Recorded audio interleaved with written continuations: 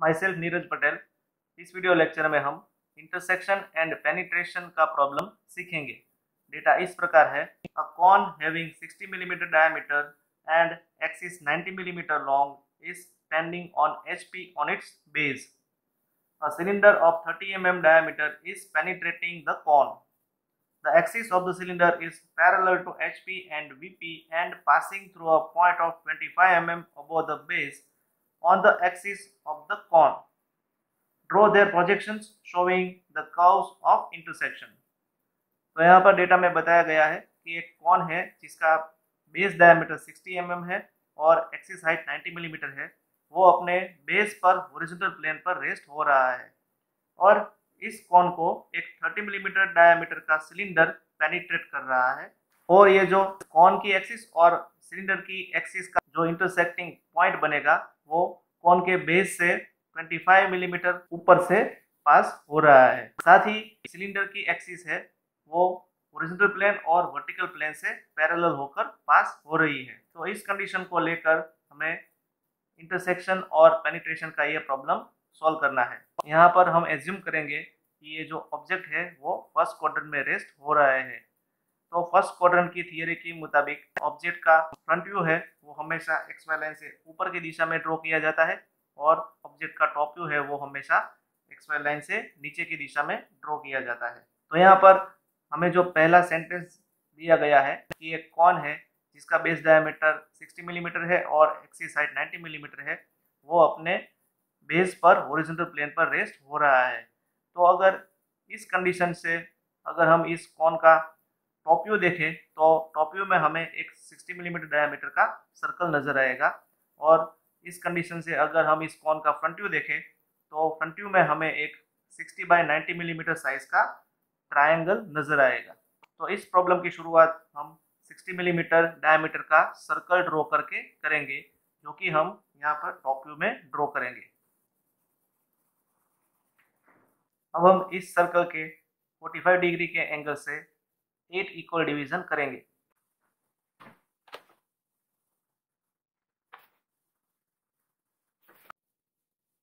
यहाँ पर हम मार्क करेंगे point one two three four five six seven and eight इस सर्कल का डायमीटर है 60 मिलीमीटर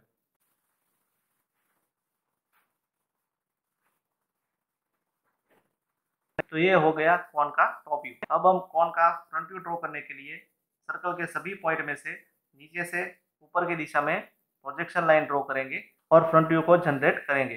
फ्रंट व्यू में हमें 60 बाई 90 मिलीमीटर हाइट का एक ट्रायंगल नज़र आएगा।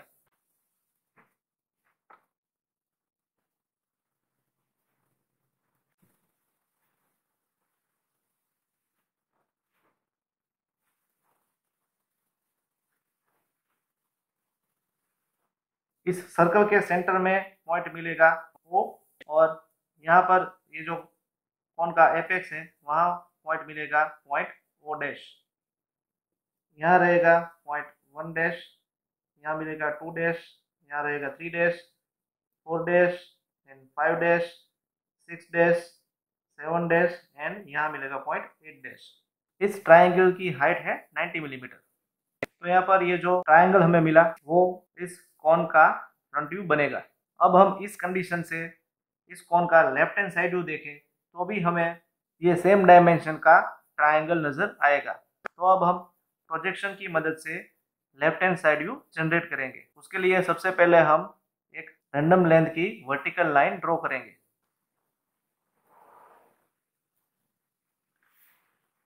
अब हम इस पॉइंट में से नीचे की दिशा में 45 डिग्री के एंगल पर एक रैंडम लेंथ की लाइन ड्रॉ करेंगे।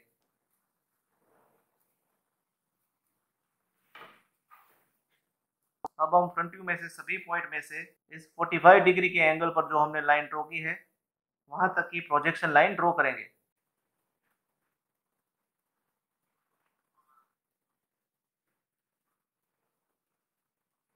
अब हम फ्रंट व्यू में से पॉइंट ODS में से ओरिजेंटल लाइन ड्रॉ करके कौन की हाइट को फिक्स करेंगे। अब हम इस पॉइंट में से वर्टिकल लाइन ड्रॉ करके कॉन की एक्सिस को जनरेट करेंगे। और बाकी सभी पॉइंट में से हम एक्स वाई लाइन तक की प्रोजेक्शन लाइन एक्सटेंड करेंगे। अब हम इस सभी पॉइंट को एक्सिस के टॉप पॉइंट से जोड़ लेंगे। तो यहाँ पर पॉइंट मिलेगा सेवन डबल डैश यहाँ पर मिलेगा पॉइंट एट डैश और सिक्स डैश यहाँ पर मिलेगा पॉइंट एट डबल डैश और सिक्स डबल डैश यहाँ पर मिलेगा पॉइंट वन डबल डैश और फाइव डबल डैश यहाँ पर मिलेगा पॉइंट टू डबल डैश और फोर डबल डैश और यहाँ पर मिलेगा पॉइंट थ्री डबल डैश और यहाँ पर मिलेगा ओ डबल डैश तो यहाँ पर ये जो हमने ट्राइंगल जनरेट किया है, वो इस कंडीशन का लेफ़्ट हैंड साइड व्यू है।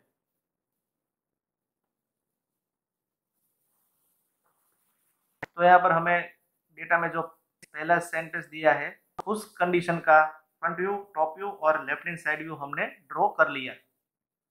अब आगे डेटा में बताया गया है कि इस कॉन को एक 30 मिलीमीटर mm डायमीटर का सिलेंडर पेनिट्रेट कर रहा है और इस सिलेंडर की एक्सिस है, वो इस कॉन की एक्सिस से बेस के पॉइंट से 25 मिलीमीटर mm ऊपर से पास हो रही है। तो अब हम इस पॉइंट से 25 मिलीमीटर ऊपर की दिशा में एक पॉइंट मार्क करेंगे।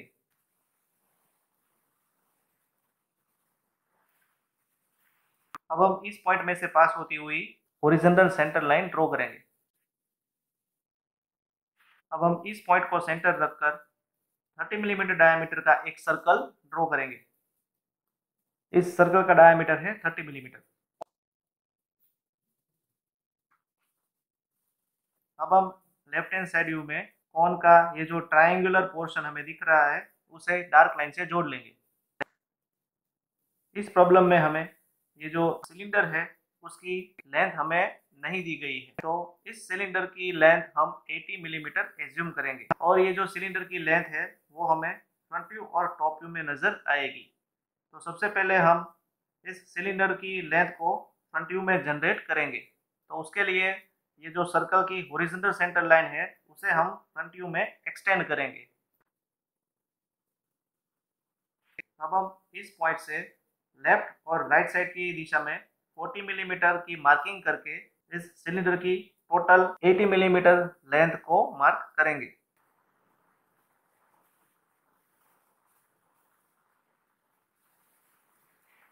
अब हम इस सर्कल के टॉप और बॉटम क्वाड्रेंट में से प्रोजेक्शन लाइन ड्रॉ करेंगे।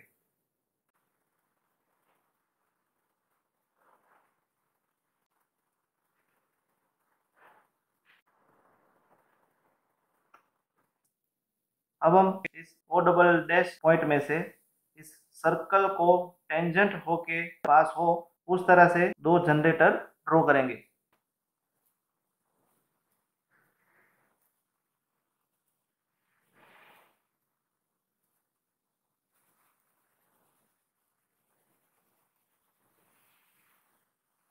तो यहाँ पर जो पॉइंट मिला, उसे हम नाम देंगे nine double dash and ten double dash और यहाँ जो पॉइंट मिला, उसे हम नाम देंगे इलेवन डबल डैश और ट्वेल्व डबल डैश अब हम इन पॉइंट्स को टॉप व्यू में प्रोजेक्शन की मदद से ट्रांसफ़र करेंगे.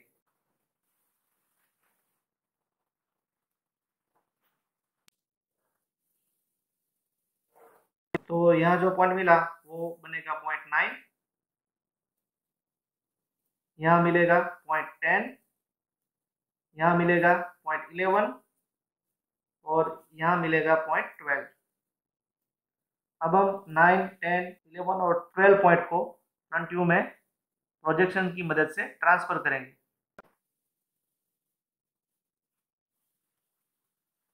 तो यहाँ मिलेगा point nine dash and eleven dash और यहाँ मिलेगा पॉइंट टेन डैश और ट्वेल्व डैश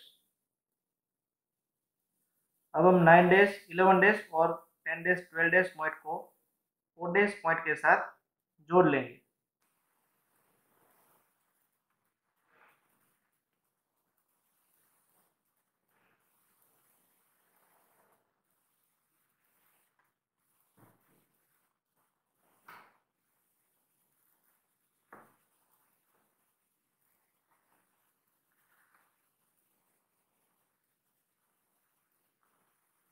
अब हम यहाँ मार्क करेंगे पॉइंट ए डबल डैश यहाँ मिलेगा पॉइंट बी डबल डैश इस टेंजेंट पॉइंट पे मिलेगा सी डबल डैश यहाँ मिलेगा डी डबल डैश और यहाँ मिलेगा ई डबल डैश अब हम A double dash B double dash C double dash D double dash और ई डबल डैश पॉइंट्स को फ्रंट व्यू में ट्रांसफ़र करेंगे। यहाँ पर पॉइंट ए डबल डैश है, वो generator O double dash one double dash और O double dash five double dash पर रेस्ट हो रहा है। तो फ्रंट व्यू में हम O dash one dash generator पर यहाँ पर मार्क करेंगे ए डैश और O dash five dash generator पर यहाँ पर मार्क करेंगे पॉइंट ए डैश वैसे ही बी डबल डैश पॉइंट है, वो generator O double dash six double dash और generator O double dash eight double dash पर रेस्ट हो रहा है। तो अब हम बी डबल डैश में से प्रोजेक्शन लाइन ड्रॉ करके यहाँ पर ओ डैश एट डैश और ओ डैश सिक्स डैश पर हम पॉइंट बी डैश मार्क करेंगे।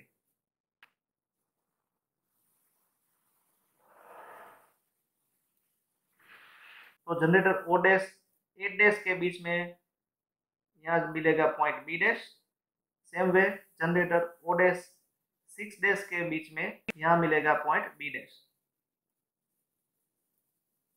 वैसे ही पॉइंट सी डबल डैश है, वो जनरेटर ओ डबल डैश और नाइन डबल डैश और generator O double dash ten double dash के बीच में रेस्ट हो रहा है। तो फ्रंट व्यू में पॉइंट सी डैश है, वो generator O dash nine dash और generator O dash ten dash के बीच में मार्क होगा। तो उसके लिए हम सी डबल डैश में से प्रोजेक्शन लाइन ड्रॉ करेंगे। तो यहाँ पर generator O dash nine dash के बीच में यहाँ मिलेगा पॉइंट सी डैश वैसे ही generator O dash ten dash के बीच में यहाँ मिलेगा point C dash same way यहाँ पर पॉइंट डी डबल डैश है, वो generator O double dash six double dash और generator O double dash eight double dash के बीच में रेस्ट हो रहा है। तो यहाँ पर फ्रंट व्यू में पॉइंट डी डैश है, वो generator O dash eight dash और generator O dash six dash के बीच में मार्क होगा। तो उसके लिए हम पॉइंट डी डबल डैश में से प्रोजेक्शन लाइन ड्रॉ करेंगे। तो यहाँ पर generator O dash eight dash के बीच में इस पॉइंट पे मिलेगा पॉइंट डी डैश और same way generator O dash six dash के बीच में यहाँ पर मिलेगा पॉइंट डी डैश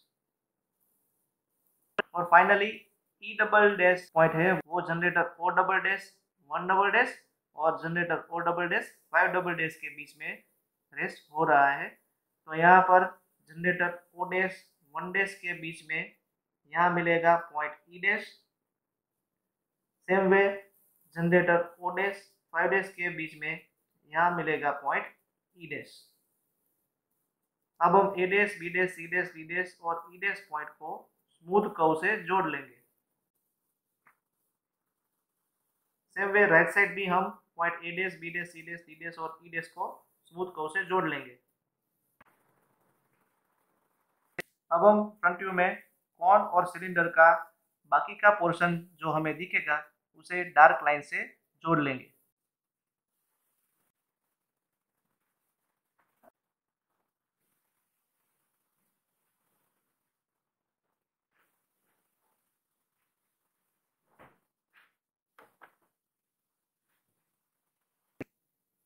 अब हम point A dash B dash C dash D dash और ई डेस को टॉप व्यू में प्रोजेक्ट करेंगे। तो सबसे पहले पॉइंट ए डेस है, वो जनरेटर ओ डेस और वन डेस और जनरेटर ओ डेस फाइव डेस के बीच में रेस हो रहा है। तो अब हम पॉइंट ए डेस में से प्रोजेक्शन लाइन ड्रॉ करके उसे जनरेटर ओ वन और ओ फाइव के बीच में मार्क करेंगे। तो यहाँ मिलेगा पॉइंट ए और यहाँ मिलेगा point A same way point B dash है, वो generator O dash two dash और generator O dash A dash के बीच में है। Same way point B dash है, वो generator O dash four dash और ओ डैश सिक्स डैश के बीच में है। तो अब हम पॉइंट बी डैश में से प्रोजेक्शन लाइन ड्रॉ करके यहाँ generator O two O eight O six और ओ फोर के बीच में पॉइंट बी मार्क करेंगे। तो यहाँ मिलेगा पॉइंट बी यहाँ मिलेगा पॉइंट बी सेम वे यहाँ मिलेगा पॉइंट बी और यहाँ भी मिलेगा पॉइंट बी यहाँ पर पॉइंट सी डेस है, वो जनरेटर ओ डेस नाइन डेस और जनरेटर ओ डेस इलेवन डेस के बीच में है. सेम वे यहाँ पर जो सी डेस पॉइंट है, वो जनरेटर ओ डेस टेन डेस और जनरेटर ओ डेस ट्वेल्व डेस के बीच में है. तो टॉप व्यू में हमें generator O nine O ten O eleven और ओ ट्वेल्व को जनरेट करना पड़ेगा। ये हो गया जनरेटर ओ नाइन।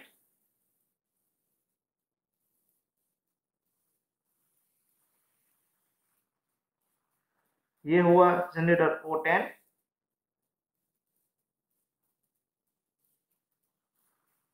ये हो गया जनरेटर ओ इलेवन। और फाइनली ये हो गया जनरेटर ओ ट्वेल्व अब हम सी डेस पॉइंट में से नीचे की दिशा में प्रोजेक्शन लाइन ड्रॉ करेंगे। तो यहाँ पर जनरेटर ओ नाइन के बीच में मिलेगा पॉइंट सी वैसे ही जनरेटर ओ टेन के बीच में यहाँ मिलेगा point C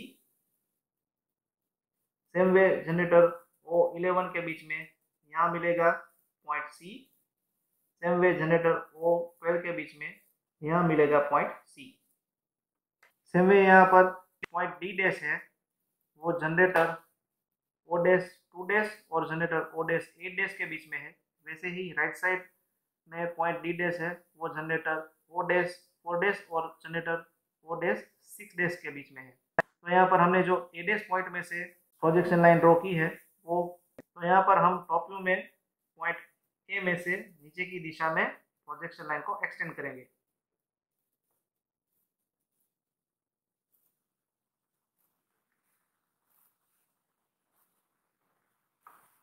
तो यहाँ पर ये projection line generator O two को जहाँ मिलेगी, वहाँ मिलेगा पॉइंट डी सेम वे ये projection line generator O eight को जहाँ मिलेगी, वहाँ मिलेगा पॉइंट डी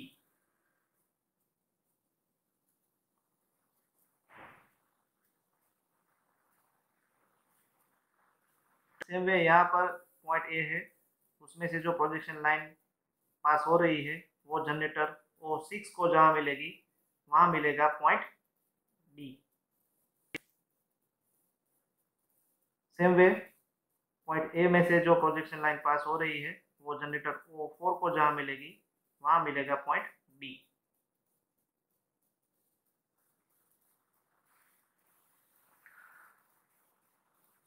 और फाइनली पॉइंट ई डैश है, वो generator O dash one dash और generator O dash five dash के बीच में है। तो अब हम पॉइंट ई डैश में से नीचे की दिशा में प्रोजेक्शन लाइन ड्रॉ करेंगे।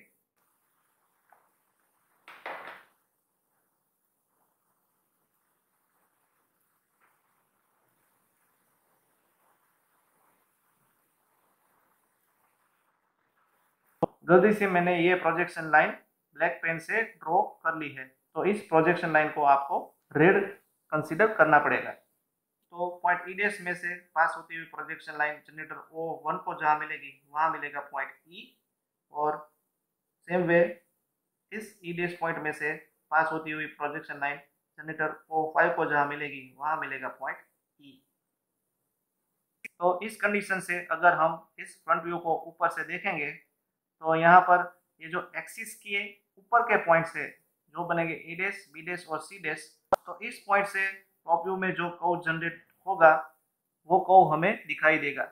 और पॉइंट सी डेस डी डेस और ई डेस जो कि एक्सिस के नीचे की दिशा के पॉइंट है, उस पॉइंट से जो टॉप व्यू में कव बनेगा, वो हमें दिखाई नहीं देगा। इसलिए हम सी डेस डी डेस और ई डेस से जो कव जनरेट होगा, उसे हम हिडन लाइन से जोड़ेंगे। अब हम टॉप व्यू में पॉइंट ए बी सी को स्मूथ कव से डार्क लाइन से जोड़ लेंगे। और यहाँ पर पॉइंट बी ई और डी है, उससे जो कव जनरेट होगा, वो हमें टॉप व्यू से दिखाई नहीं देगा, इसलिए हम इस कव को हिडन लाइन से जोड़ेंगे।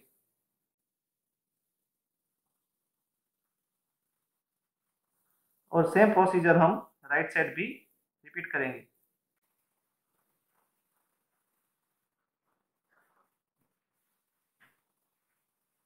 अब हम टॉप व्यू में जो बाकी का सिलेंडर जो एक्सटेंड हो रहा है, उसे प्रोजेक्शन से जनरेट करेंगे।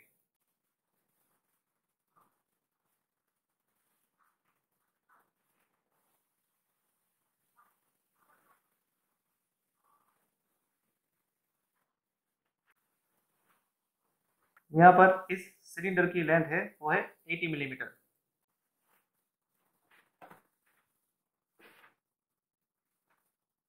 तो यहाँ पर ए dash B dash C dash D dash और ई डेस पॉइंट से फ्रंट व्यू में और टॉप व्यू में जो कव जनरेट हो रहा है, वो है इस प्रॉब्लम का कॉज ऑफ़ इंटरसेक्शन यहाँ पर इस प्रॉब्लम में मैंने जो रेड कलर की पेन से ड्रॉ किया है, उस पोर्शन को आपको पेंसिल से लाइट ड्रॉ करना है और जो ब्लैक कलर की पेन से ड्रॉ किया है, उस पोर्शन को आपको पेंसिल से डार्क ड्रॉ करना है।